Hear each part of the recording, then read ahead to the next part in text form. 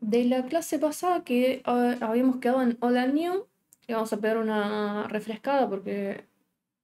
eh, nada, para recordar un poco. Y los temas que vamos a estar viendo hoy, aunque parezcan cortitos, no lo son, sí. Vamos a, a ver esto, que es del libro 1, y ya después pasamos al libro 2. ¿Sí? Que se pone un poco pesadingui, pero ya entramos en un nivel de nerdez que me encanta, porque hoy cuando lo estuve resumiendo, eh, nada, había cosas que yo no sabía, y bueno, ahora estoy como, ¡oh, qué divertido! Eh, nada, eso. bueno, arrancamos. Cualquier cosa, eh, lo vemos en el recreo. ¿sí? Avísenme si escucha bien y todo eso. A ver, ¿están vivos ahí? ¿Están ahí? ¿Están ahí? Sí, Susana. Eh, me apaga el aire porque ya estoy congelando. Y obvio que empiezo a moquear. Parezco un, un, un ser atroz. Bueno. Acá estamos el 33. Perfecto. Bueno, eh, ya habíamos visto All That New, ¿sí? All That New es un, una. ¿Cómo se llama? Un capitulinio del. Un capítulo, no, una- un header. Bueno, ustedes sí, un tema. Ahí está, ahí está, Dios. Un tema de, de- del libro, ¿sí? De- nuevo y viejo, dice. Eh, hay algunas características nuevas de JavaScript, que esto era lo que les comentaba eh, antes, ¿sí? que dice, mm, hay algunas características nuevas de JavaScript que no pueden estar disponibles en todos los, eh, en los navegadores más antiguos. ¿sí? Eh, hay hay, mm, funciones más nuevas que ni siquiera de la especificación nueva, digamos, de JavaScript, que ni siquiera están implementadas en los navegadores. Por eso siempre uno puede poner, no, no recuerdo ahora si estoy por tirar flotando, a ver. em, Can I use, pero de JavaScript, sí, creo que sí. A ver. Eh, a ver si funciona así. Perfecto. El Nullish Assignment, por ejemplo, eh, igual es Nullish Coes. Uh, nunca me acuerdo de esto. Esperen. Nullish Coalescing. Está. ¿Cómo se dice eso? Coalescing. Coalescing. Está. No. ¿Qué estoy poniendo mal? ¿Falta una S? Ah, la C. ¿Ven? Bueno, no opera. No, va fangulo. Y Internet Explorer va fangulo. Hola, Nico. Bienvenido. ¡Eh, Panamá! ¡Uh! Qué bueno. Eh, ¿Qué hora es allá en Panamá? Eh, bien, bueno, volviendo a tierra. Este, bueno, ahora sí estaba. eh,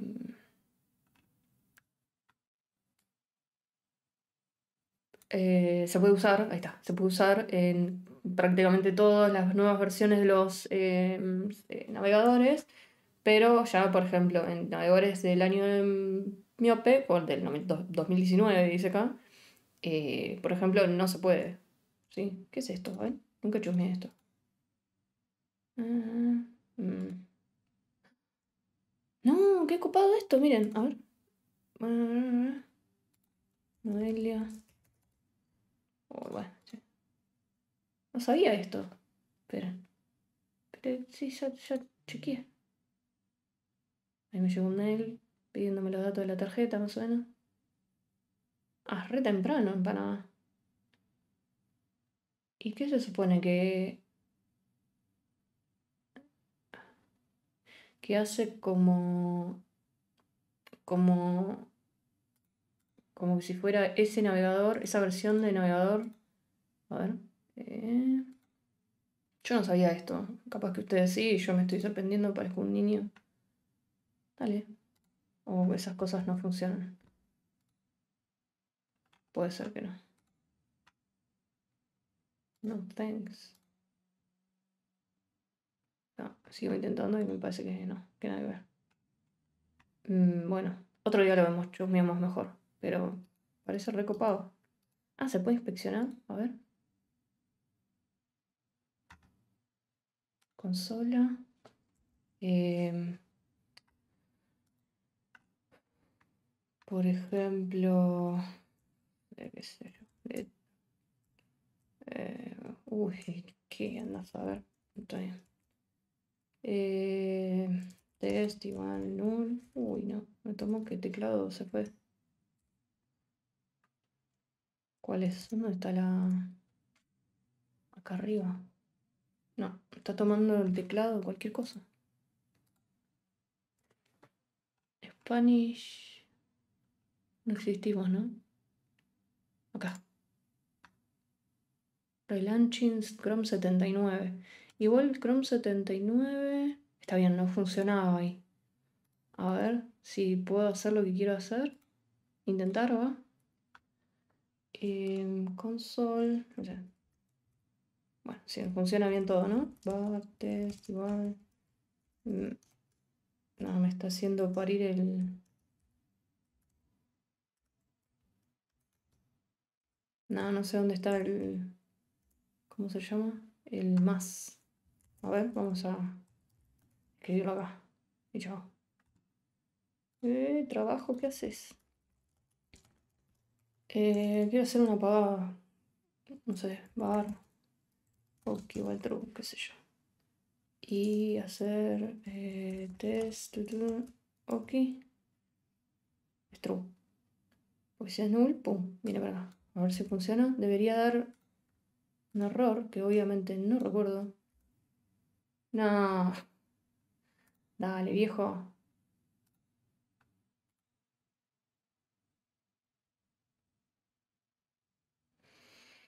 Bueno, nada.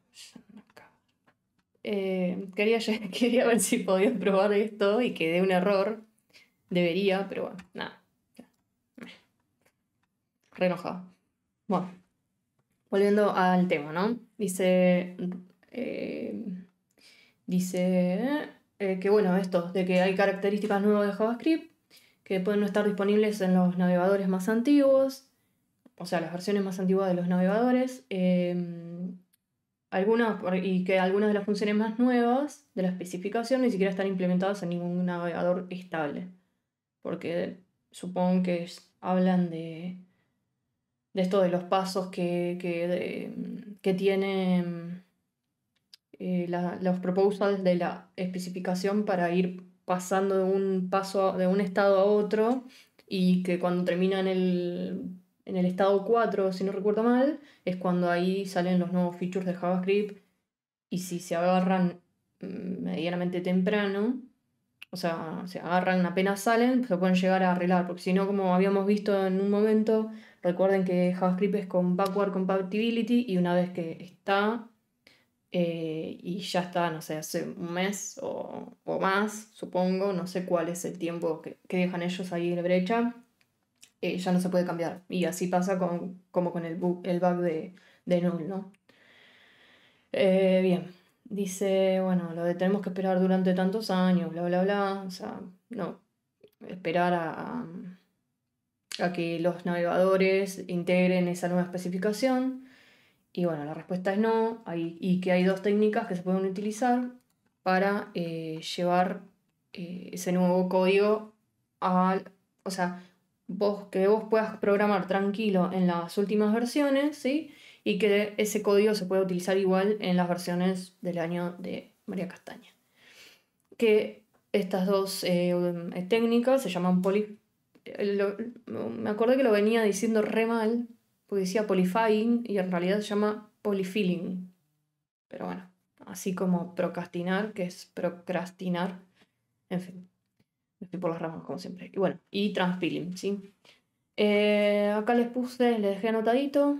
Igual esto está en el libro, ¿sí? Todo esto es, está traducido al libro. eh, que es un término inventado por Remy Sharp.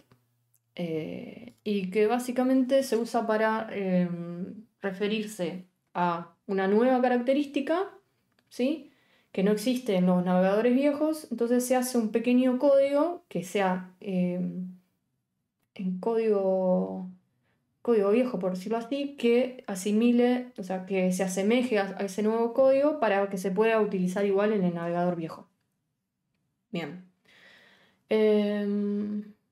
Dice, por ejemplo, en eh, EMAScript 6 define una utilidad llamada number.isNone para proporcionar una comprobación precisa y sin errores para los valores n- none, ¿sí? los not a number. eh, obviando la utilidad original isnan, ¿sí? porque existe todavía isnan. No la van a sacar porque hay navegadores justamente que siguen utilizando ese método de esa manera. Especificación vieja. Eh, y dice, pero es fácil un polyfilling. Ahí está, me olvidé. Acá le pifié. Es fácil hacer un polyfilling, no tiene traducciones, De esa utilidad para que puedas eh, comenzar a usarla en tu código sin importar si el usuario final está en un navegador 6, eh, en más 6 o no. ¿sí? Entonces, este código chiquitito por ejemplo, es un polyfilling de lo que sería el number is none, que es un feature nuevo en ECMAScript 6, una especificación nueva. Y acá lo que dice es, bueno, la sentencia if evita que se aplique la definición del, del polyfill, no sé si está bien puesto esto, pero bueno, en los navegadores ES6, ¿sí? porque ya existe ahí. Eh, si no estuviera presente, ahí sí eh, lo que hace es redefinir, o sea, lo que hace es definir, perdón, estoy medio acelerada y trabada. Em, la función isNaN y la... Acá el tema es que lo, que dice acá es que, bueno, eh, esta comprobación lo que hace es aprovecharse de la peculiaridad de isNaN, que de los valores NaN, perdón, que eh, básicamente es el único valor que si haces em, ese valor diferente a ese valor, da true. O sea, si pones 1 igual a diferente a 1, va a dar true. Em, nada, es un ejemplo de, de, ¿Cómo se diga Polify? Yo le voy a decir Polify. Eh, eh, bueno, nada, que después habla de que, bueno, que no todas las características son polifaileables, le puse yo más o menos. Y eh, otra cosa a estar muy, muy, muy atentos es que no se debería em, tratar de implementar por uno mismo este tipo de em, implementaciones, ¿no? De este tipo de conversiones para que sean aceptados en navegadores viejos. ¿Por qué? Porque tenés que pegarte mucho a la especificación. O sea, vos tendrías que ir, agarrar, em, abrirte la especificación de JavaScript. A ver si la tengo por acá. Obvio que no, pero bueno. Spec, JavaScript. Ahí estaba, estaba ahí y no la vi. Acá. ¿Ven? Tienen que venir acá, que es la última especificación de JavaScript.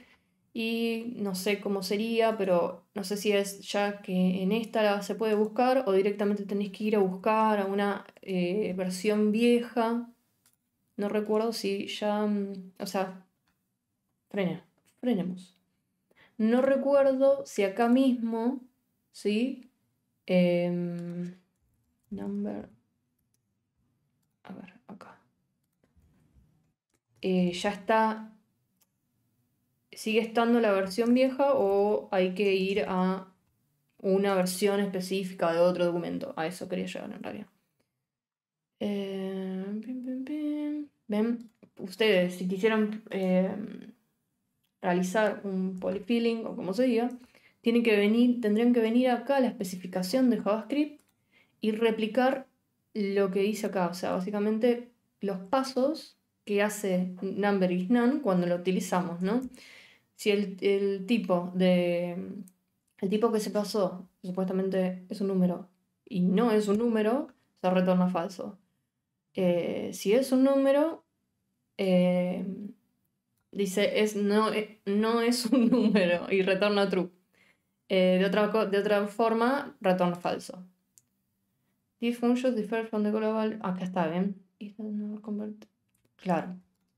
Y ahí metieron un cambiecito nuevo. O sea, supuestamente esta función es. Uy, eso está, estuvo fuerte, ¿no? Yo lo escuché hasta acá. Avísame cualquier cosa. Hola, Pixel. ¿Ven? Lo que dice que eh, difiere de la vieja y que en esta nueva se hizo una mejora. Entonces, si nosotros nos vamos acá, acá dice, eh, no sé qué significa esto, porque esto también no debe estar medio en chino.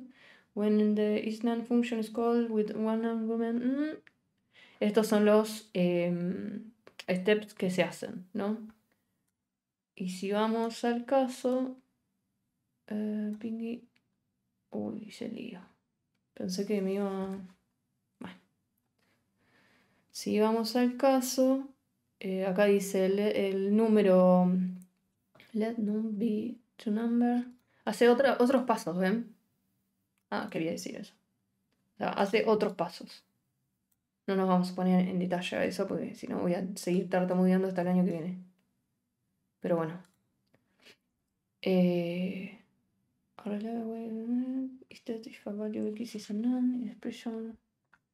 Claro, esto es lo que decía el tipo en el, en el, en el libro también. El tipo, Kyle Simpson.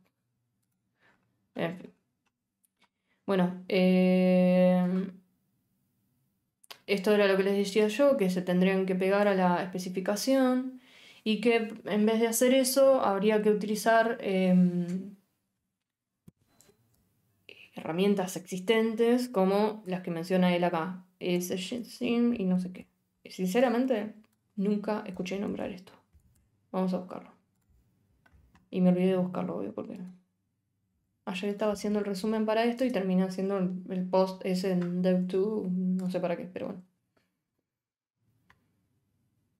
A ver, a ver. Ven, dice que provee eh, compatibilidad, no sé qué es Shims. A ver. ¿Qué es Shims? Vos podés, vos podés, compatibilidad, calzos. Bueno, estamos peor que antes. Para que los motores de JavaScript heredados se comporten lo más parecido posible a ECMAScript 6. ¿sí?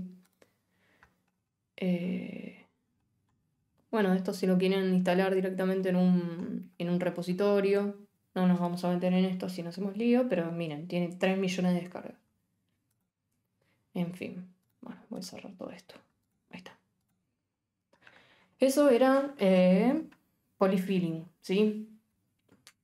Ah, resumiendo, es una característica nueva para la cual eh, escribiríamos eh, un código semejante que sea compatible con navegadores viejos. Esta salió bien el resumen. Te lo resumo así nomás de, de programación. Bien, un segundito. Hola Pixel. Gracias Pellegrina y Mauro Cracker. No, Mauro Rocker. Mi dislexia me, mata. Ahí está. Bien. Um, pam, pam, pam, pam. Dice transpilar, no transpirar, ¿sí? Transpilar es una herramienta que te sirve para convertir las nuevas sintaxis de JavaScript en su equivalente más viejo. Y ahora, ¿cuál es la diferencia entre polyfilling, polyfilling perdón, eh, ¿Sabe? Refiere a tomar la definición de una característica más nueva y producir una pieza de código que es equivalente al comportamiento, pero puede ejecutarse en entornos más viejos. Ok. De un segundo me, pareció que le pifié y copié una cosa que no era. Eh, es una herramienta que te sirve para convertir las nuevas sintaxis de JavaScript en su equivalente más viejo. Ok, vamos a seguir. Y si transpiling es un término salido de transforming más compiling, eh, básicamente código se crea con la nueva sintaxis, pero se despliega en el navegador el código transpilado. ¿sí? Bueno, en el polyfiling, en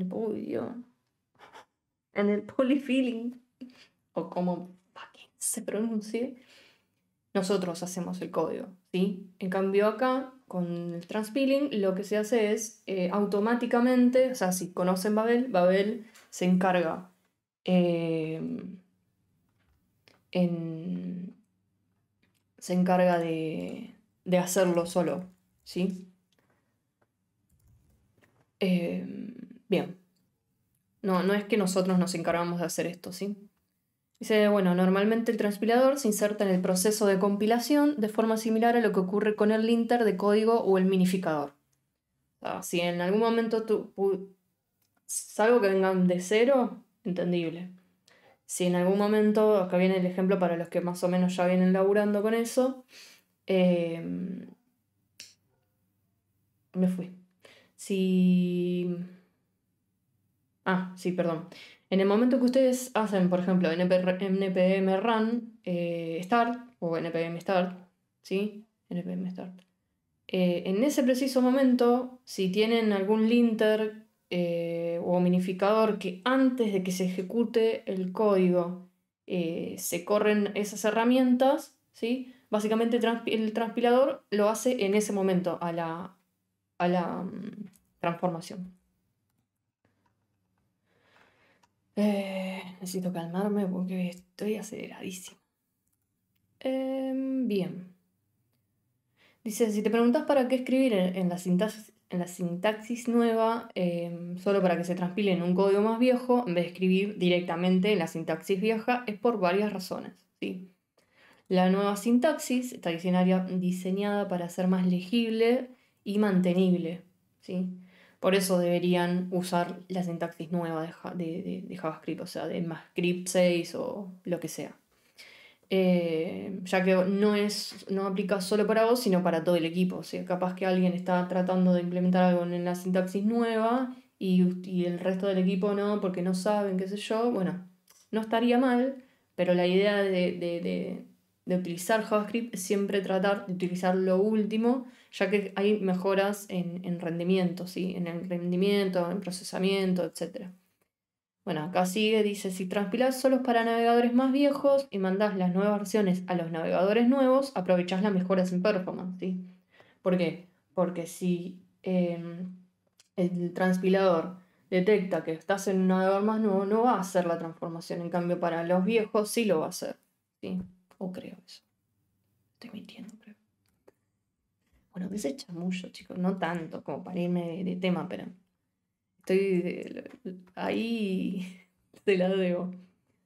Eh, dice, usando la nueva sintaxis, habilitas a que se testee de manera más robusta en el mundo real y hasta podrías dar feedback temprano al comité de JavaScript, al TC39, que estuvimos chusmeando ahí la especificación, eh, ya que si los errores, hoy lo que les decía eh, hoy, ya que si los errores se encuentran temprano, pueden llegar a realizarse cambios antes de que sean permanentes. Eh, bien. Este es un ejemplo, ¿sí? por ejemplo, de parámetro por defecto que está en la, versión de, a partir de la versión de ECMAScript 6, ¿sí? y este acá va mi dislexia, y este es el código compilado, eh, transpilado, perdón, ¿sí? Eh, y como verán, bueno, en, la nueva versión, que está, es la de acá, simplemente nosotros al parámetro que, se, que, espera la función podemos ponerle un valor por defecto. Por ejemplo, en este caso sería a igual a 2. ¿sí? Eh, y el código transpilado ¿sí? o sea, pre-ECMAScript 6, cuando esto lo transforma al código, eh, al código de viejo, por decirlo de alguna manera, lo hace de esta manera. ¿sí? Argument, posición 0, es diferente a void 0, que acá significa undefined.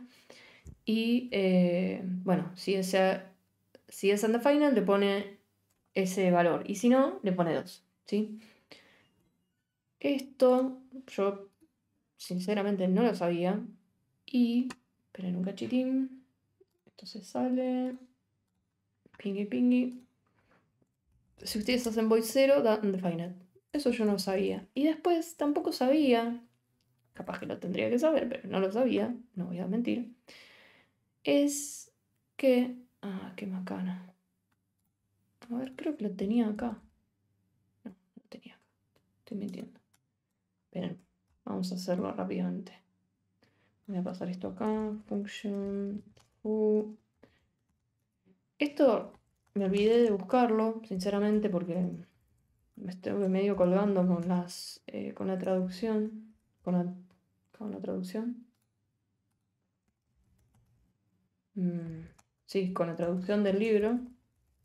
Esperen que estoy escribiendo el código ahí. Piki piki eh, y piqui. A ver, esto se va. Mm, bien, creo que es así, ¿vale? Ah, y falta fu eh, igual a nada y fu 42, por ejemplo. Bien. como verán, vamos a primero a poner fu. A ver. Ah, bien. Esta es, la versión vieja. Va a funcionar porque es un sigue siendo código, ¿sí? Pero quiero que vean eh, qué pasa con... Esto era. Ah, así. Ahí está. Después, les prometo, o no sé, háganme acordar por Discord, porfa, que lo busquemos, ¿sí? Porque esto para mí quedó como medio magic, lo entendí, pero hasta ahí nomás, y no lo busqué porque me olvidé, porque soy Doris. Em, pero si ustedes, bueno, ahora vamos al recreo. Si ustedes llaman a la función, ¿sí? Sin argumentos, dan por hecho de que eh, acá no hay nada, ¿sí? No está esperando nada la función. Pero si nosotros hacemos esto, llamamos a la función, acá console eh, eh, nos muestra por pantalla que esto da undefined, undefined ¿sí?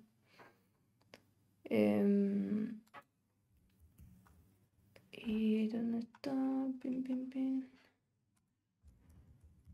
Y si escribimos, igual no funcionó creo como yo quería. Capaz que le pifié en algo. Esperen. Arguments.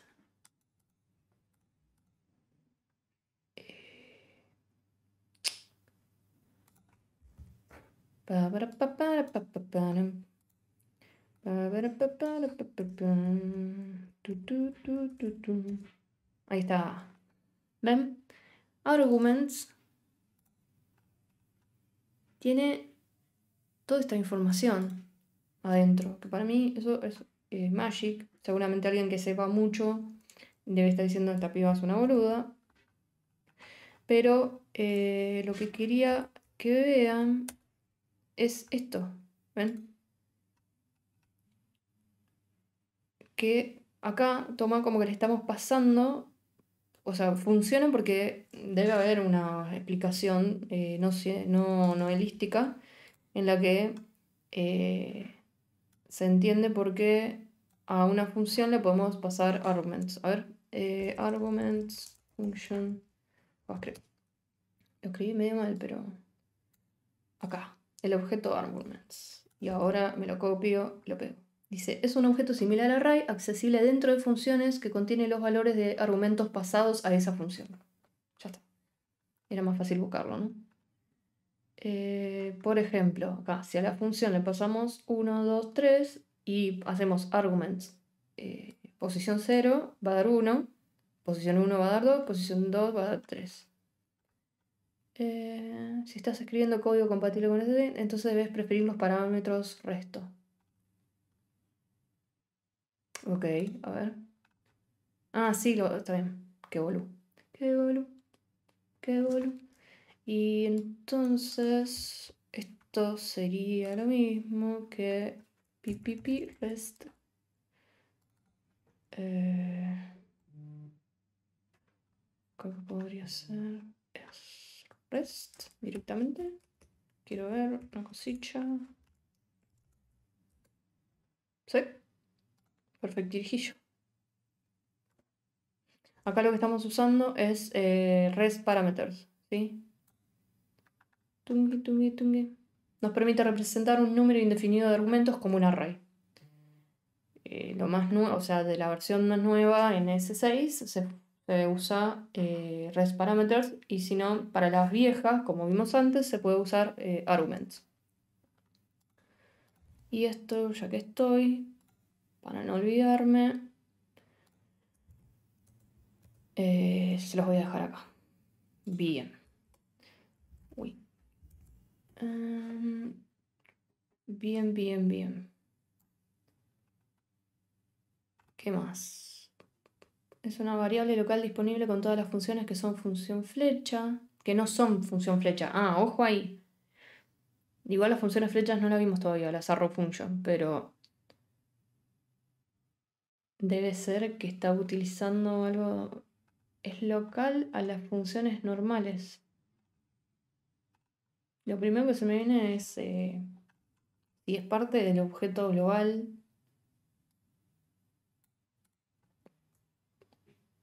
Eh, supongo que no. Window, Arbu. No tendría sentido. Está. Bien. Eh, bueno, listo por ahí. Listo de desvariar. Eh, comunes. Comunes. Está. Que me fui por la rama todo el tiempo porque estoy medio acelerada y em, capaz que mezclé un poco las cosas, pero espero que hayan entendido. ¿Sí? Estamos en el recrédito, voy a poner recrédito ahí, pingui. Vamos a poner música. Eh. Y ahora cuéntenme, ¿cómo, cómo ven esto? ¿Es un medio un lío? ¿Van entendiendo? Esperen que bajo acá la música. ¿Se escucha ahí?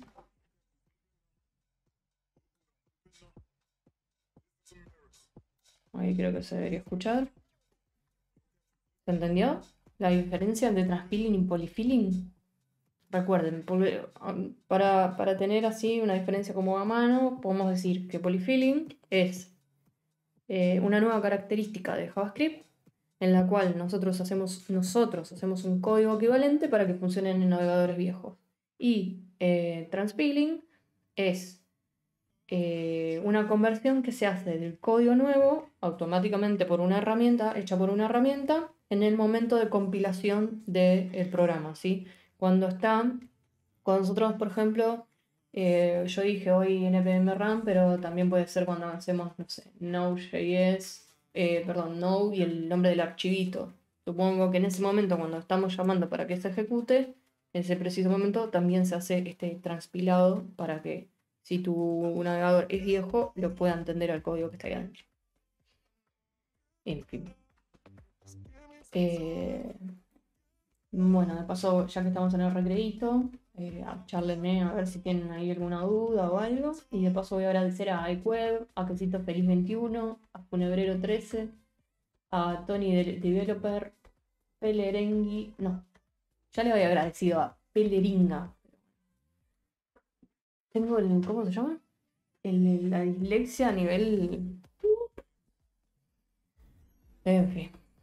A ver, quiero hacer una prueba. Que nadie me hable. Desde la otra cuenta. Ay, salió el toque, chicos. No hay. No hay lag, no hay delay. Eso quería decir. No hay lag. Removí del LOL. Eh, nada.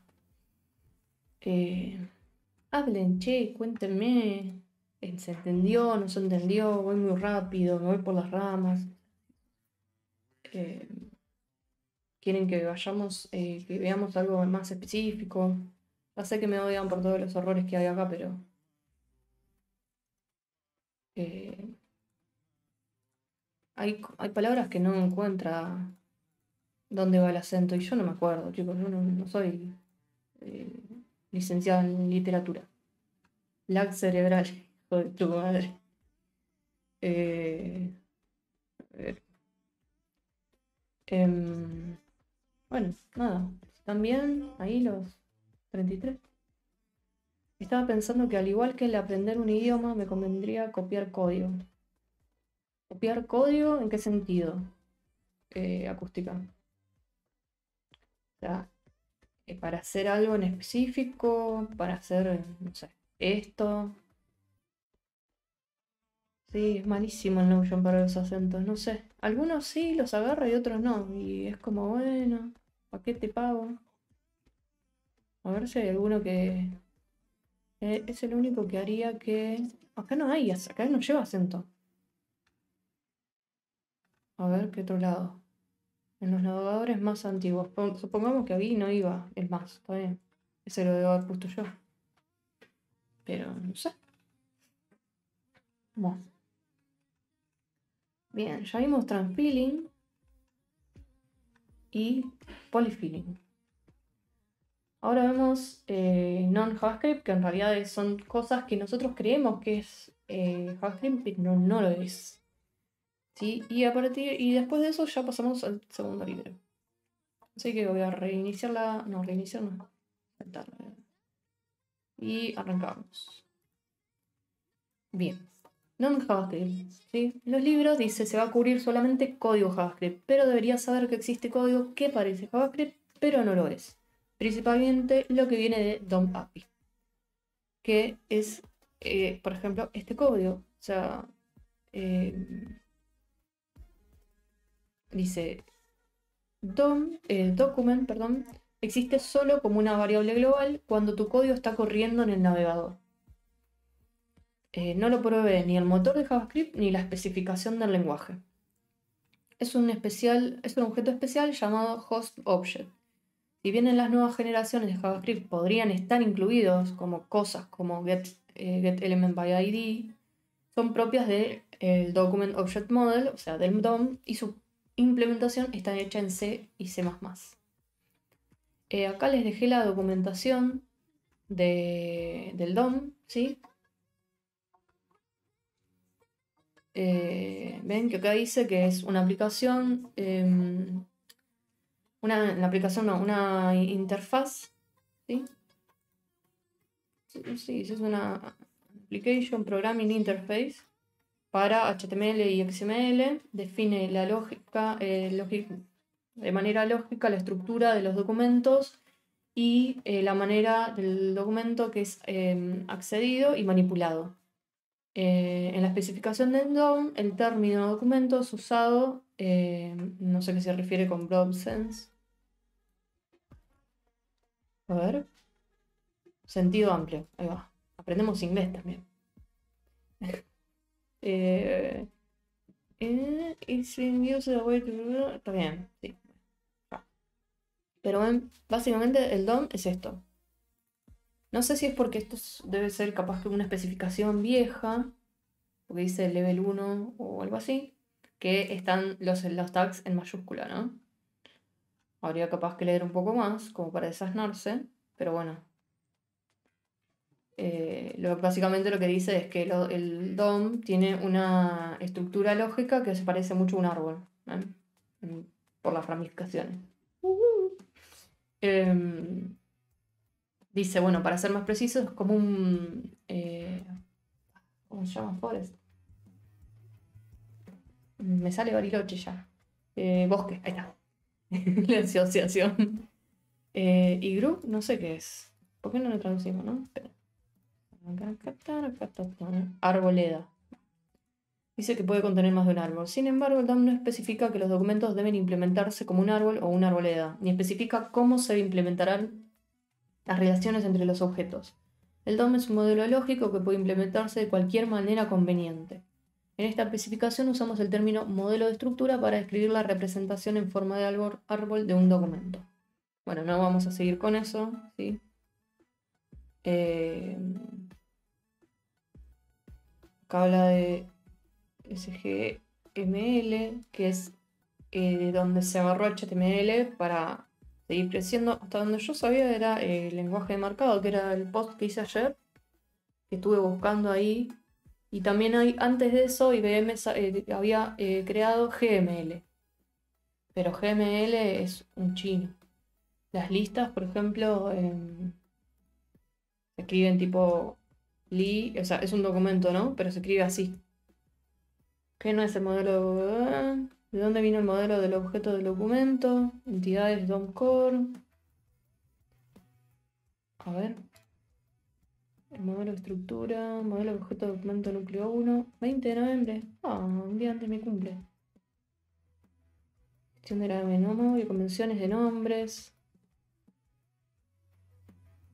Está muy bueno esto porque si uno lo lee todo, eh, nada.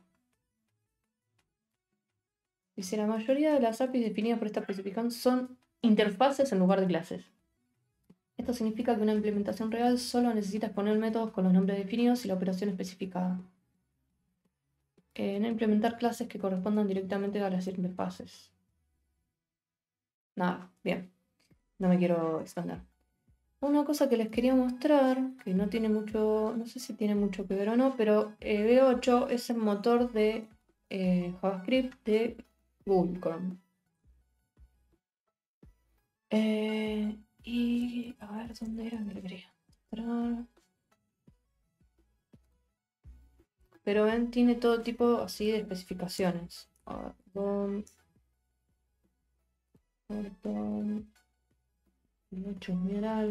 El motor de, de- de JavaScript de Chrome está hecho en C, si no recuerdo mal. Y. Esperen un cachingui. Helper.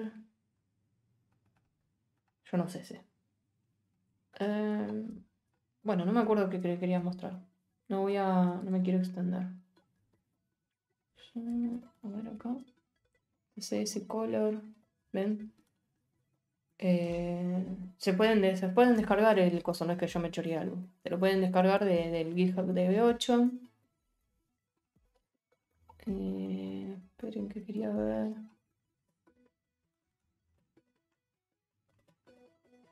Me muero si entramos justo a las definiciones, a los keywords de los colores. Mm, pero sí, puede ser. Mm, No sé bien qué es lo que hace esto. Pero ven acá se utiliza, por ejemplo, eh, el objeto document. A ver, document. ¿Esto qué es? libdom. Miren, esta es la librería DOM de TypeScript. No, no estoy mal. A ver.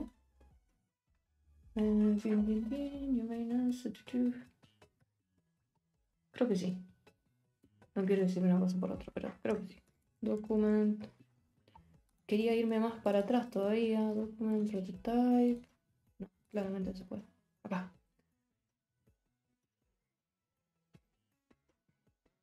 ¿Ven? Esa. Dice cualquier web cargada en el, en el navegador y servers and as an independent. A ver, esperen.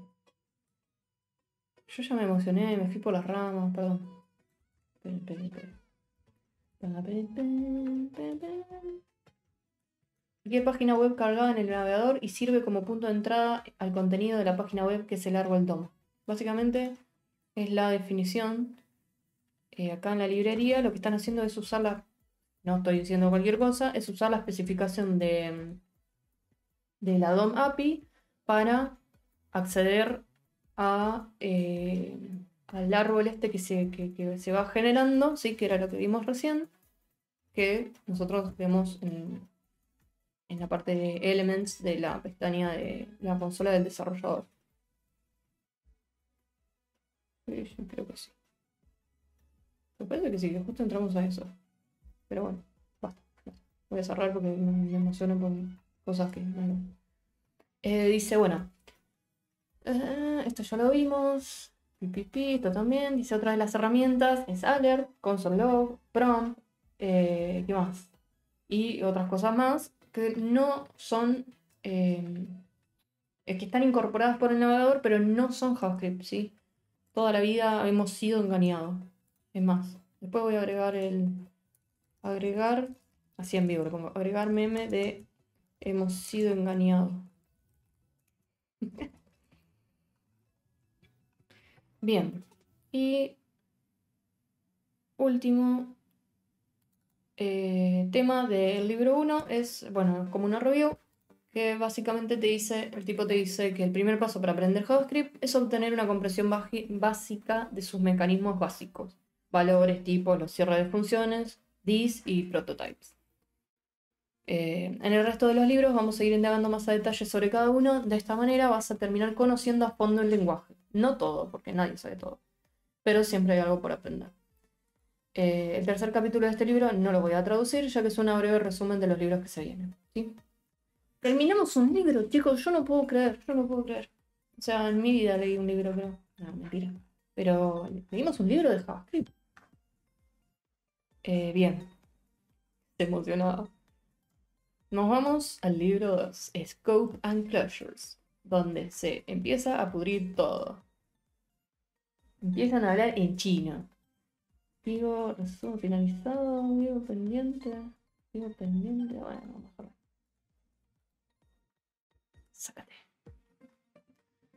No sé ustedes, pero a mí me emociona que hayamos terminado un libro de seis. Sí, sí, recuerdo, son seis. Pero a mí me encanta esto porque es, la verdad que tendría que haberlo, claramente tendría que haberlo leído antes. y hay un montón de cosas que me empiezan a hacer como clic en la cabeza y eso me fascina, eso es lo que me fascina de programación, entender, terminar de, ese modelo mental que uno tiene de decir, esto se hace así y funciona. Bueno, no, ahora se hace así y entendemos por qué. Eso me encanta, me encanta. Perdón, ya me emociono. en fin, eh, de este libro arranca con eh, qué es Scope, ¿sí? Eh, teoría del compilador. Ya, ven que ya se pone derriada mal. comprendiendo el scope, o sea, el ámbito.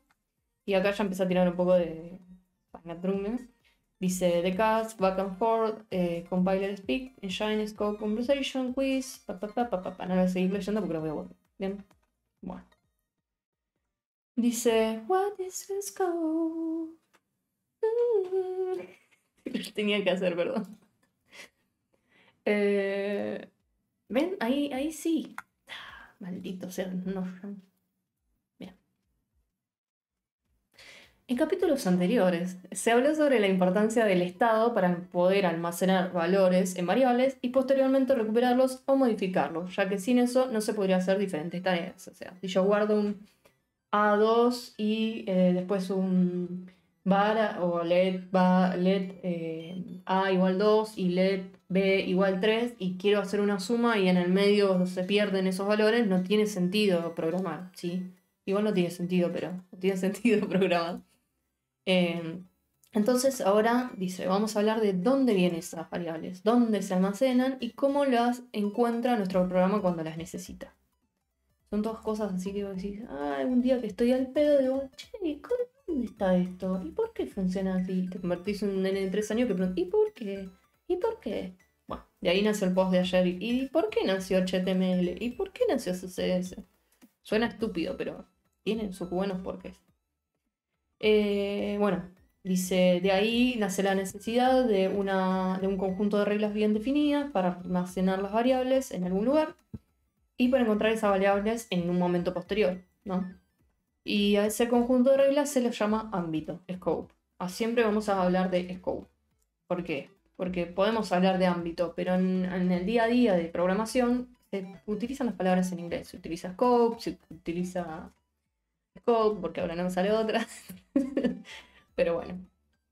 Eh, dice, ¿y dónde? ¿Pero dónde y cómo se establecen esas reglas de ámbito? Bueno, ahí arrancamos.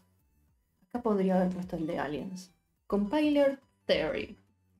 Dice, puede ser evidente o sorprendente dependiendo de si trabajaste en otros lenguajes de programación. Y acá igual no me maten a mí, ¿sí? Porque algunos dicen que JavaScript no es un lenguaje compilado, que es un lenguaje interpretado. Y este tipo la de que es compilado. Pero yo voy a seguir la, senda del señor Kyle. Voy a decir que es un. que él dice que es compilado. Eh, ahora, ahora vamos a hablar bien de eso igual.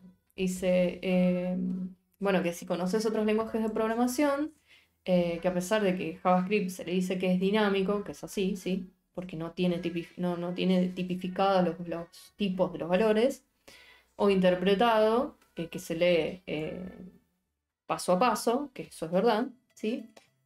Dice, es un lenguaje compilado. Polémico. Dice, no es que se compila con antelación, ni es que el resultado de, su compilación es portable entre varios sistemas. Si no es que yo tengo, termino de compilar y tengo DLL, tengo, no sé, ahora no acuerdo nada de C pero DLL lo primero que se me viene a la mente que vos agarrás después de eso, lo deployás en tal lugar eh, y, ya, ¿no? Eh, dice, sin embargo, el motor de JavaScript realiza muchos de los mismos pasos. Eh, sí tenemos archivitos, pero son archivos son archivos JavaScript o TypeScript o eh, CSS o HTML. Dice, es un, en un lenguaje tradicional eh, compilado, un trozo de código fuente, o sea, tu programa, se somete a tres pasos antes de ser ejecutado, lo que se denomina compilación. O está hablando de los programas que sí, se, o sea, que sí realmente son full, full compilados, ¿sí? Voy a descubrir que si no tiran ni el tiro del coso de la Mac y hago como si para arriba sale solo. Casi rompo todo lo que En fin. Tokenización o barra lexificación. ¿sí? What the fuck is this? Dice, eh, la tokenización divide una cadena de caracteres en trozos significativos para el lenguaje, llamado tokens. ¿sí? Por ejemplo, consideremos este programita, ¿no? Lo que hace la tokenización es dividir en pequeños tokens. O sea, var, pongamos que le clava coma, ¿no? Var, entiendo que es así. Var, coma, a, coma, igual, coma, dos, coma y por último el punto y coma, ¿sí? Porque recuerden que todo eso para JavaScript es un statement. Eh, y acá dice, bueno, la, diferencia entre tokenización y lexificación es sutil y académica. Se lo copié tal cual porque dije, bueno. Eh, pero básicamente un token puede tener estado o no. Dice, si el tokenizador invocara las reglas de análisis sintáctico con estado eh, para averiguar si un token debe ser considerado un token distinto o solo, para, em, o solo parte de otro token. Medio que es un chisme ahí, dice. Si el tokenizador invocara las reglas de análisis sintáctico con estado para averiguar si un token debe ser considerado, considerado un token distinto solo parte de otro token, eso sería Lexing. ¿sí? Entiendo que eh, por un lado están eh, los tokens que pueden tener estados o no, y si un token es parte de otro token, esa parte es de Lexing. ¿sí?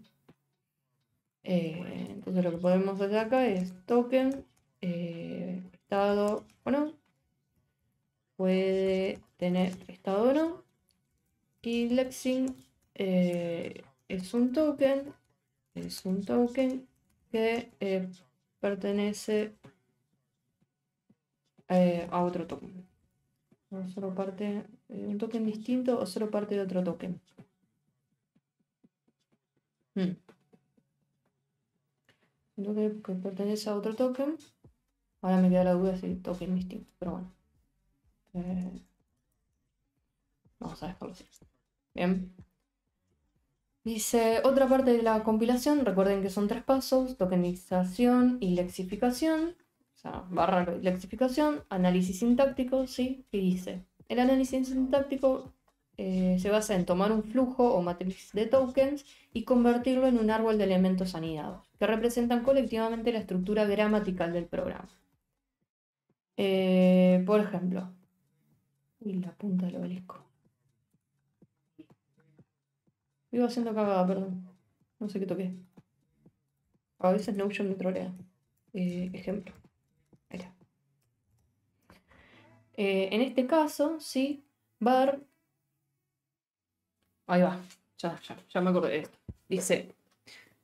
Eh, el análisis sintáctico lo que hace es agarrar esos tokens, que es una matriz de tokens, y lo convierte en un árbol de elementos. Elementos anidados, que representan colectivamente la estructura gramatical del programa.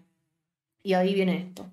En este caso, var sería un nodo de nivel superior llamado variable declaration. ¿sí? Ahora me entra... Eh, voy a poner esto acá, así sigo con lo que estábamos viendo, pero... Variable declaration me sume... Me, miren, declaration. Yes, accent 3, limitations de parcel. Estoy chusmeando lo de 8. Pero miren. Acá tienen un variable declaration. ¿Sí? A ver cuál era el otro. Dice, eh, bueno, en este caso A, justamente no lo vamos a encontrar, pero dice, porque es un identificador. Identifier. A ver si encontramos eso. Esto, recuerden, es el motor de JavaScript V8 de Chrome. Identifier. Eh, un código documentado. Mm. ¿Escucha a mi perra ladrar? La estoy por regalar. ¿Alguien la quiere? Mentira, no la estoy por regalar, pero. Está ganando todos los números. No quiere instalarse más, más, señor. Type identifier. Toque variable. Bueno, no me quiero extender.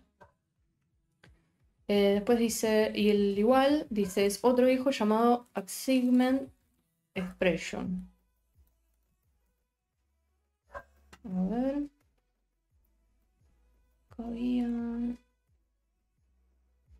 ¿Ven? Miren, por ejemplo.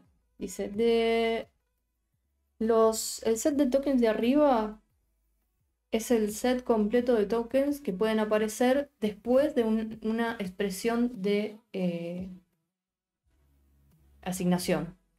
O sea, puede aparecer un semicolon. ¿Cuál era el semicolon? El... Tuve una laguna ahí.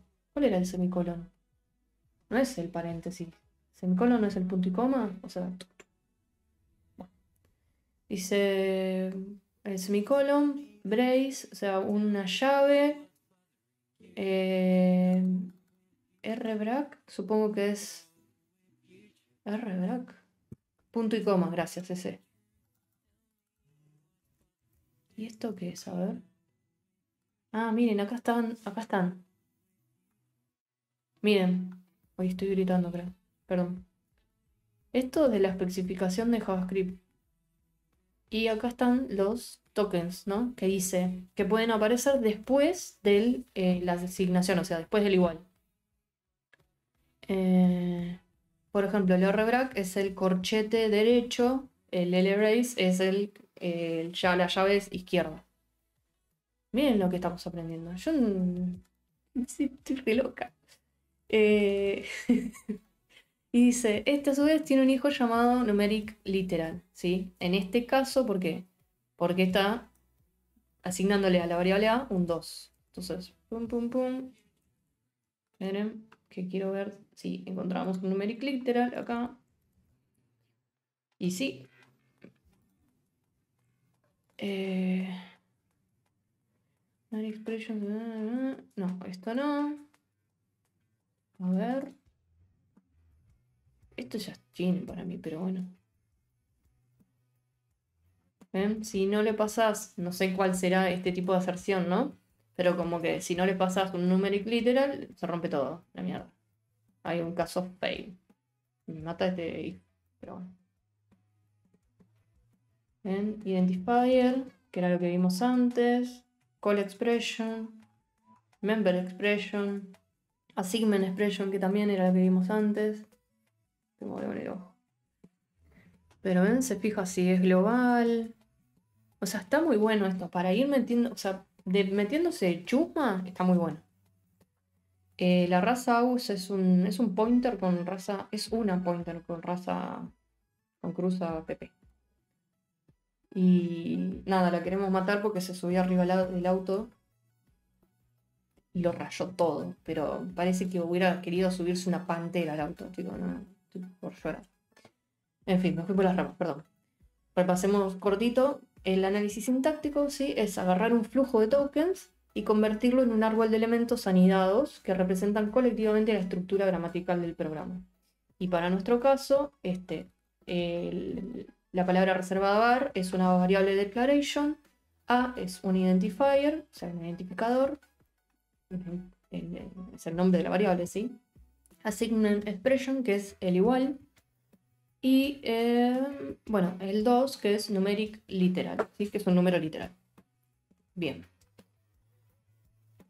Ori Juan. Juan Mew. Tiene que ver con. Mew tiene que ver con. Em, Pokémon. En fin. el tercer proceso de compilación es eh, generación de código. Dice, es el proceso. Es el proceso de tomar. Eh, que toma. Es el proceso. Ah, no, no, está bien. Es el proceso de tomar un análisis sintáctico, o sea, del paso anterior, y convertirlo en código ejecutable. Esta parte varía mucho dependiendo del lenguaje, la plataforma en la que se dirige, etc. Así que en lugar de enfrascarnos en los detalles, nos limitaremos a decir que hay una manera de tomar nuestro análisis sintáctico previamente escrito para var a igual 2, por ejemplo, ¿sí? y convertirlo en un conjunto de instrucciones de máquina para crear realmente una variable llamada a, incluyendo la reserva de memoria, etc. Y luego se guarda una variable dentro de a. Un valor, perdón, dentro de a. Eh, Quizás esto es todo un chino, pero está bueno un poco entenderlo todo esto, ¿no? Dice, en este punto estamos dando por sentado ya, esto por sentado, ya que a nivel de detalle es mucho más complejo que esto. Pero bueno, así a, grandes rasgos, ¿sí? Eh, lo que sería el proceso de compilación de lenguajes tradicionales sería más o menos esto. La tokenización, el análisis sintáctico y la generación de código. Y acá lo que dice, ahora ya vamos al recrédito, eh, o vamos al recrédito, mejor dicho. Vamos al recrédito, así no, no. Yo también descanso. Eh, bueno, coméntenme. Coméntenme. Cuéntenme, ¿cómo, ¿cómo lo ven? ¿Cómo vienen? Tomo coquita.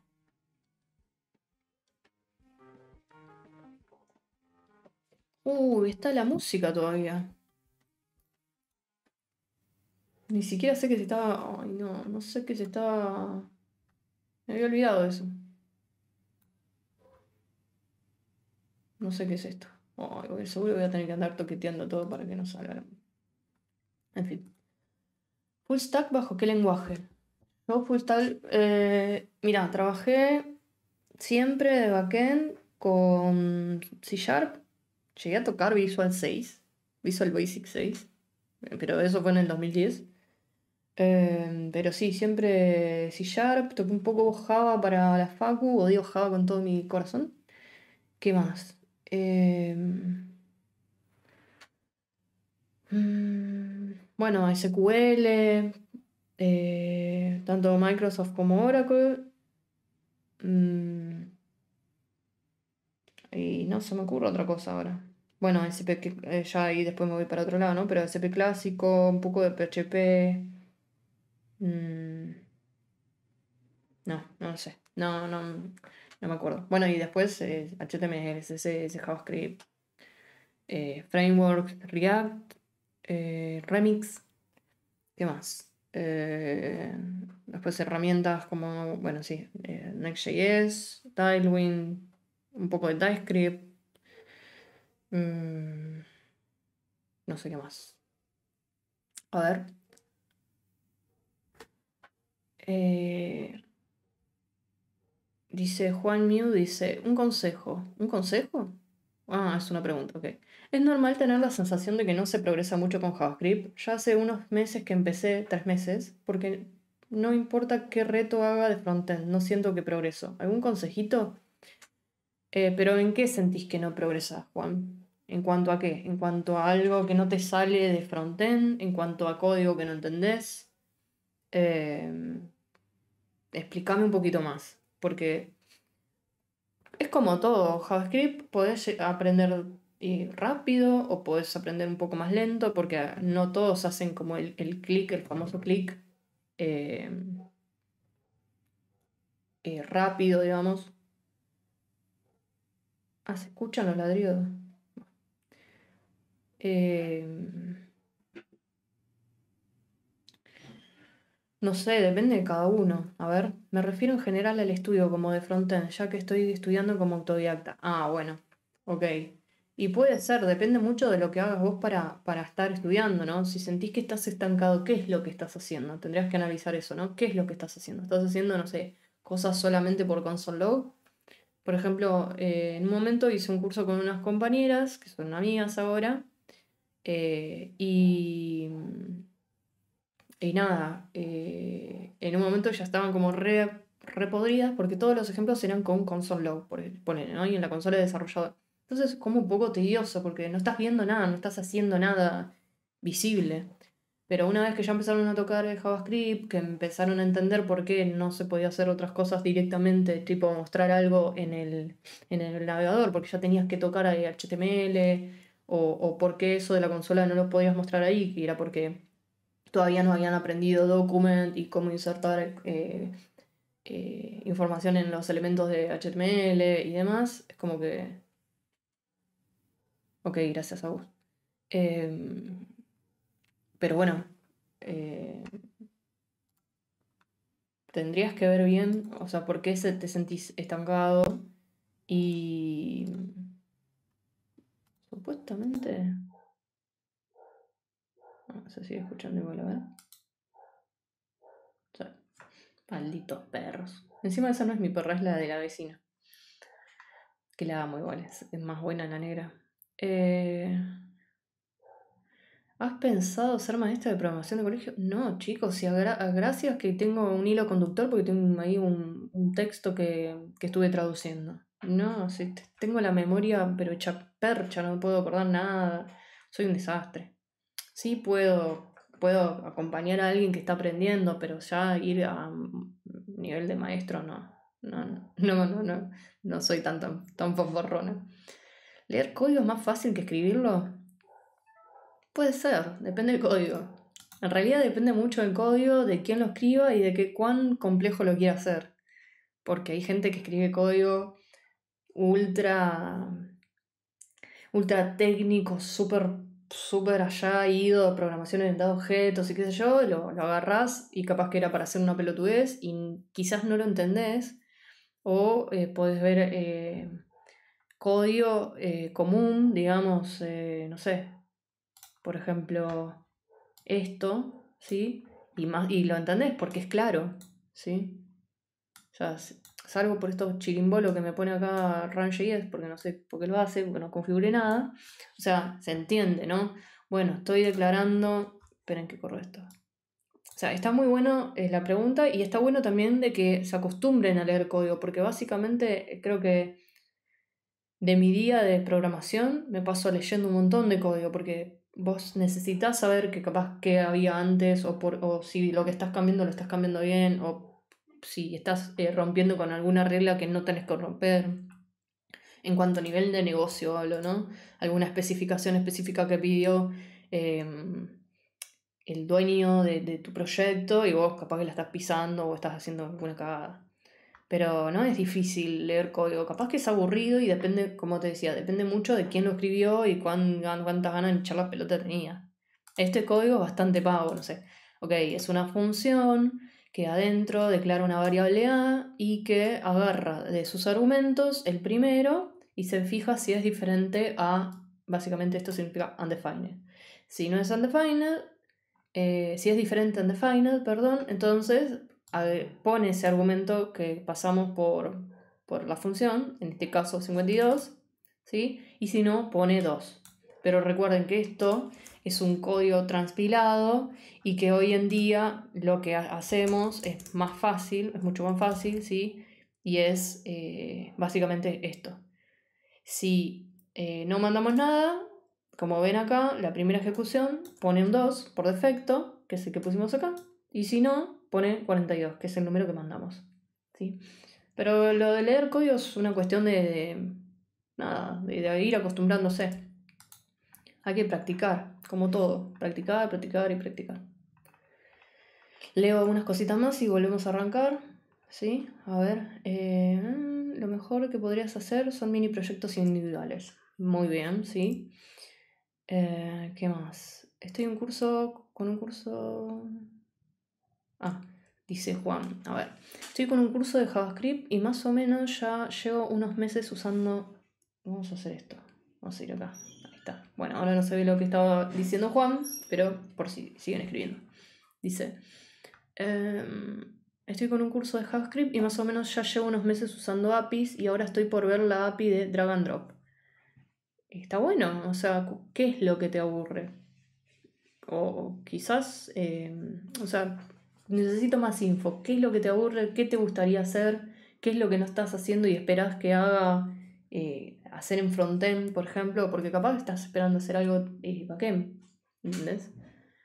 Hoy me peiné, chico, como el culo, pero bueno. Em, eh, ahí Coco dibuja y dice, leer es una cosa, entender es otra. Totalmente. O sea, no es que todo lo... A ver, si hay un código y no lo entienden, no es que son, no sé, bobo, qué sé yo. Es una cuestión del nivel de código, el nivel que tienen ustedes, el seniority y un montón de cosas. Eh, seniority no, es, borrenlo, olvídense. es, es el, cuán metidos estén ustedes con, lo que saben, básicamente. Eh, dice, para hacerlo más fácil el código te recomiendo leer el libro Clean Code. Bueno, pero ahí ya no estamos yendo ya a, a un nivel allá, Eh, básicamente el libro de Clean Code lo que te sirve es para escribir código limpio, como dice el libro, pero eh, teniendo en cuenta otros factores, ¿no? Eh, no sé, quizás utilizando... Mm, voy a ver si lo consigo y lo dejo ahí en el canal. utilizando programación orientada a objetos, reutilización de código, no sé, si hay algo que repetía acá y acá, podría extraerlo a una función para que se pueda reutilizar en otras partes del código, ver si es necesario que se reutilice en otras partes del código o solamente para esa función o esa utilidad o, componente, por ejemplo, ¿no? Se escucha cuando, cuando trago, chicos. No sé qué está pasando con la configuración hoy. Lo más difícil para mí de escribir código desde cero es generar la documentación. Es un embole. En realidad, depende cuál sea tu, tu trabajo, ¿no? Porque es raro generar documentación. Ponele. Si vos estás haciendo una API porque sos de backend, ok, estás haciendo una API que necesitas que tenga un documento para que lo lea un frontend o un magoya, ¿sí? Ahora, si estás haciendo algo de frontend, es raro, documentar. Puedes hacer testing, puedes hacer un storybook, que ahí es donde documentas con storybook eh, los componentes y em, lo podés reutilizar vos u otro equipo que haga frontend y ahí saber, bueno, este componente es para esto, recibe estas props, hace esto, bla, bla, bla. Eh, pero, ¿vos de qué, qué, es lo que haces, Coco? Contame. Eh, FCO Darinel dice, hola, ¿se puede documentar código escribiendo comentarios en el mismo o cómo es la forma de documentar? Mira, por ejemplo, en Netcore, va, en C Sharp, vos agarras y haces, por ejemplo, barra, barra, barras, eh, barra, barra, barra, tab, y creo que solo te genera la parte de la documentación eh, que se llama summary, que puede recibir, eh, puedes poner los detalles de los parámetros, puedes poner qué retorna, después puedes documentar en Swagger, por ejemplo, si es una API. Después hay otras herramientas que ahora no me acuerdo cómo se llaman, pero te generan eh, automáticamente la documentación dependiendo de las clases.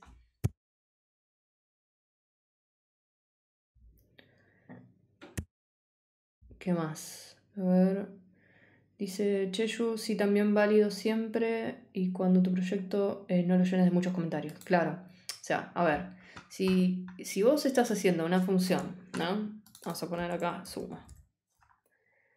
Eh, qué sé yo, de igual 3. Si vos estás haciendo una función que suma, no vas a poner un comentario, ¿no? Esta función suma. Porque es redundante. Ya de por sí, cuando uno hace eh, código, escribe código, perdón, lo que tiene que hacer es tratar de que eh, en los nombres de las funciones o los nombres de las variables sean descriptivos. Entonces, al ser descriptivos no va a ser necesario estar documentando eso, ¿sí? En este caso suma, no tiene sentido que se documente. Eh, si se hace algo muy, muy enroscado, quizás ahí sí, porque no puedes estar poniendo suma de los cuadrados, no sé, de los catetos. Estoy tirando fruta, ¿no? Pero igual va a seguir siendo descriptivo. Pero digo, algo que sea un poco más rebuscado, si la función, nombre de la función, no sabes qué ponerle, bueno, ahí sí le pones un, comentario, ¿no? Ah, eso siempre es mi opinión, ¿eh? Ojo. Eh, hola, tus muertos, baby. Hoy, eh, quiero creer que ahí va, dice hoy. Eh, bueno, antes de arrancar el último pedacito, porque igual tampoco... ah, sí. Mm. voy a agradecer a Cede Pinedo, a Juan Miu, a Ricky, a Bainawat, a José Manti, MDG212, King Mr. Music, Equeb, Quesito Feliz 21 y ya eh, le había agradecido a los demás. Vamos a continuar, sí, así ya terminamos eh, lo que falta. Oh, esperen. Ahí está. Mm, bueno, mm, yo diría que tranqui, si no, va, ¿sí? Bien. Eh, continuamos. Eh, lo que estábamos viendo, sí, era el tema de la compilación, los tres pasos que hay en mayoría de los lenguajes de compilación. Y que bueno, que lo que dice es que el motor de JavaScript es mucho más complejo que esos tres pasos, eh, como la mayoría de los compiladores de otros lenguajes. ¿sí? Esto fue como un breve recap. Dice, por ejemplo, en el proceso de análisis sintáctico, me había olvidado que y generación de código, hay ciertamente pasos para optimizar el rendimiento de la ejecución, incluyendo el colapso de elementos, elementos redundantes, etc. O sea, en eso no ah, indagamos, ¿sí? Simplemente eh, dice que hay, en esos pasos hay otras cosas que nosotros no hablamos, pero bueno, hay que, hay que saber que no es eso y nada más que eso. Y em, acá básicamente habla de eso, ¿no? Dice está, que está pintando un panorama a grandes rasgos, pero que mm, ya vamos a ver por qué son relevantes. Dice, por un lado los motores de JavaScript no tienen el lujo, como otros lenguajes compiladores, eh, lenguajes compiladores o lenguajes compilados, de tener mucho tiempo para optimizar, porque pues, ahí va la, la otra diferencia, ¿no? Cuando, por ejemplo, se hace una compilación de un proyecto de C Sharp, por dar un ejemplo, Vos haces clic derecho build y tarda unos segundos y que puede llegar a tardar más. En cambio, JavaScript tiene que eh, compilar en el momento porque se tiene que ejecutar, ¿sí? Dice, en el caso de JavaScript, la compilación en muchos casos ocurre apenas unos microsegundos o menos antes de que se ejecute el código. Para garantizar el rendimiento más rápido, eh, los motores de JavaScript utilizan todo tipo de trucos como los eh, Just in time, ¿sí? Uy, odio. Hay veces que odio Mac. Ahí está. Eh, con, con lazy compile, ¿sí? Em, perezoso significa. Dice, incluso recompilan en caliente, pero eso está fuera de nuestro alcance ahora. Eh, digamos para simplificar que cualquier fragmento de JavaScript tiene que tener tiene que ser compilado eh, antes, o sea, generalmente justo antes de ser ejecutado. Así el compilador de JavaScript agarra el programa var a igual 2 punto y coma y primero lo compila y luego lo ejecuta generalmente de inmediato. Y ahora vamos a ver un poco más a detalle eso, ¿sí? Dice, entendiendo el scope, el alcance. La manera en la que vamos a atacar scope para aprenderlo es pensando el proceso como si fuera una conversación. Pero ¿quién está teniendo la conversación? Dice, acá tenemos eh, los eh, de cast, serían eh, el elenco. Ahí está, dice, conozcamos al elenco de personajes que interactúan para procesar el programa bar a, bar a igual 2 punto y coma. Eh, así entenderemos sus conversaciones. Eh, eh, para entender cómo funciona JavaScript tenés que pensar como en Shine, ¿sí? como en el motor. Y sus amigos, dice. Las preguntas que se hacen y responder esas preguntas de la misma manera. Ay, se borró un... Había un cuadro acá. Pero la punta del obelisco. A ver, un segundín.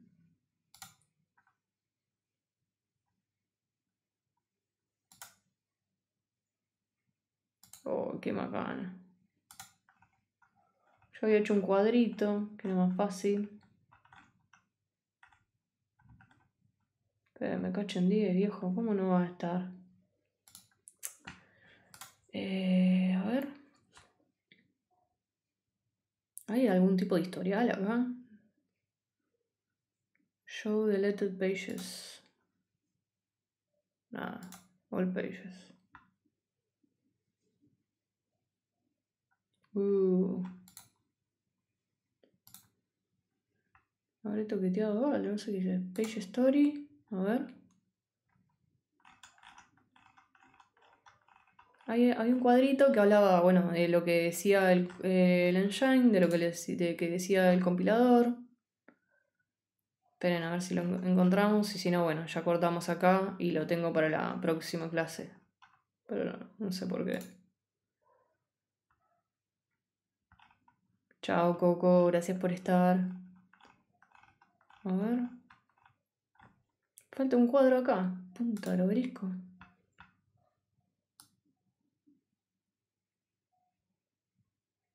Tiene que estar. ¿Para qué pago un Ocean, viejo? Va, lo pagué sin querer. Por este tipo de cosas lo pagué sin querer. ¡Acá está! ¡Esa! ¡Toma! Eh, a ver si lo puedo recuperar así. Vamos, gente.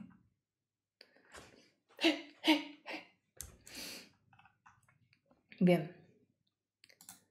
Eh, esto queda en otro color, pero bueno, lo, dejamos así, para ponerle onda.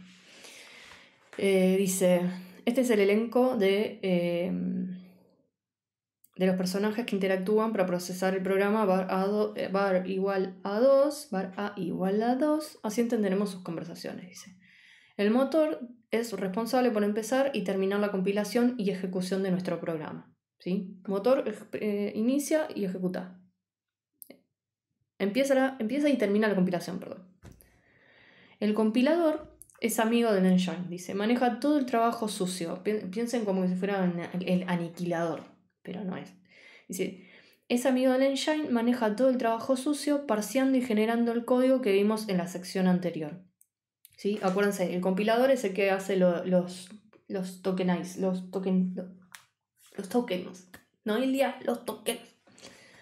Eh, y por último, el scope, o sea, el alcance, dice, es otro amigo del engine y que busca y mantiene una lista, eh, busca y mantiene una lista de búsqueda de todos los identificadores declarados, o sea, las variables, ¿sí? Tipo, en este, nuestro caso era var A, el identificador sería A, ¿sí? Y dice, y hace cumplir un conjunto de reglas en cuanto a cómo son accesibles para el código que se está ejecutando en ese momento. Tampoco era la gran cosa el cuadro, ¿no? Pero bueno. Eh, básicamente es eso. Entonces lo que dice es que tratemos de recordar, ¿no? Y eso me lo dio a mí. Y pensar cómo piensan cada uno, ¿no? El motor, recordemos, empieza y termina la compilación. El compiler eh, parsea y genera el código, parsea y genera el código. Y el scope es el que mantiene una lista de todos los identificadores que se fueron generando y, em, y en dónde se fueron generando. ¿sí? Recuerden eso. Después dice, eh, y con eso terminamos, ¿sí? dice back and forth, ida y vuelta. Dice, cuando vemos var a igual 2, pensamos que es una declaración, pero en, en Shine y sus amigos lo ven de manera diferente. Lo primero que hará el compilador con ese programa es realizar el lexing para dividirlo en tokens, que luego analizará en un árbol. Cuando llegue a la generación de código, tratará de este programa tratará este programa de forma diferente a lo que suponemos. ¿Sí? O sea, el compilador hace el lexing, lo divide en tokens y genera el árbol. Cuando llega la parte del proceso de la compilación, o sea, de generación de código, va a tratar el programa de manera diferente a lo que nosotros suponemos. Y lo que supuestamente nosotros suponemos es eh, que el compilador va a producir un código que podría resumirse en este pseudocódigo, ¿no? Esto es pseudocódigo, dice. Asigne memoria para una variable, ¿sí? Recuerden que es esto, ¿no? Asigne memoria para una variable, etiquete la A, o sea, A, y luego ponga el valor en esa variable. Eso sería lo que nosotros entendemos que hace el compilador. Pero, en realidad no. El compilador lo que va a hacer es esto. Dice, al encontrar var A, el compilador le pregunta al scope para ver si ya existe una variable A para esa colección de scope en particular. O sea, recuerden que el scope es todo lo que esté entre, en, un bloque, todo lo que esté entre llaves. ¿sí? Es algo, eh, eh, lo que es el scope global. ¿sí? Que no, es como, como, como si dijéramos que el scope global es esto. O sea, sin, tocar nada, sin hacer llaves, es todo esto. ¿sí? Pero nosotros, si nosotros ponemos eh, Así, que es algo que se puede hacer, pero que no lo hagan en sus casas, ¿sí? Si yo hago windows.a, no voy a encontrar esa variable, ¿sí? Porque pertenece a ese scope, a ese scope chiquito, ese bloque chiquito. En cambio, si nosotros hacemos, eh, perdón, hacemos b, eh, creo que esto va a funcionar, eso espero. Eh, pingy, mm, ping, pem. Como nosotros lo declaramos con var, va a pertenecer al scope global, por más que lo tengamos entre llaves. Entonces siempre hay que tener en cuenta esas cosas. ¿Cómo, con, qué, ¿Con qué mm, palabra reservada lo definimos? ¿Está entre llaves? O sea, ¿está metido dentro de una función, de otra función? Hay que tener en cuenta esas cosas. Eh, recapitulando, dice, entonces, al encontrar va, el compilador le pregunta al scope para ver si existe una variable A, para esa colección de scope en particular. Si es así, el compilador, el compilador ignora esta declaración y sigue adelante. O sea, si ya existe una, la ignora y sigue adelante. En caso contrario, el compilador pide al scope que declare una nueva variable llamada A para esa colección de ámbito. O sea, para ese, bloque o para ese cancel, dependiendo, recuerden, dependiendo de dónde sea eso.